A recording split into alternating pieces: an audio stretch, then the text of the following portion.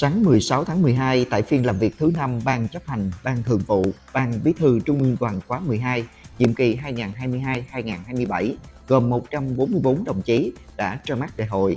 Đồng chí Bùi Quang Huy tái đắc cử bí thư thứ nhất Trung ương Đoàn khóa 12. Đồng chí Bùi Quang Huy sinh năm 1977, quê Nghệ An, trình độ thạc sĩ luật học, cử nhân luật, cao cấp lý luận chính trị, Phát biểu nhận nhiệm vụ, đồng chí Bùi Quang Huy đã cảm ơn sự tín nhiệm, kỳ vọng của đại hội và hứa sẽ làm một tập thể đoàn kết, làm việc hết sức trách nhiệm, sáng tạo để cụ thể hóa, hiện thực hóa mọi tư tưởng, quan điểm của đại hội đã xác lập, thực hiện hoàn thành và thành công các nội dung của nghị quyết đại hội. Đại hội cũng ra mắt Ban Thường vụ Trung ương Đoàn lần thứ 12 gồm 33 đồng chí và Ban Bí thư Trung ương Đoàn lần thứ 12 gồm 6 đồng chí.